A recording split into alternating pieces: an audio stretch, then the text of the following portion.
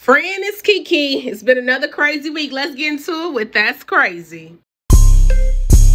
Somebody called Kim Kardashian and tell her Kanye is looking for her. Baby, had your wife, had your kids, Kanye is clearing out everybody. The man is putting everybody on blast because he says Kim Kardashian is playing with his kids. Now, you know, Kanye is giving very much Gemini right now, but it was the messages from Kim cousin asking about the Yeezys for me. Like, girl, this man world is falling apart, and you trying to pull up on him about some Yeezys?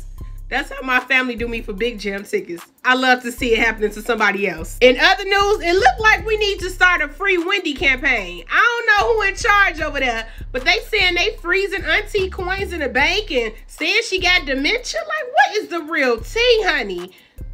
She going out bad. In other crazy news, a lot of y'all riding around with bald tires right now.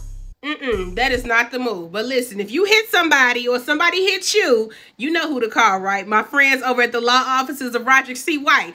I got you with the T, but he got you after them car wrecks in the streets, okay? So hit him up. And friend, make sure you follow me on the gram at On Air Kiki. I'll be back next week, honey. we going to see what this week is giving us. That's it for That's Crazy.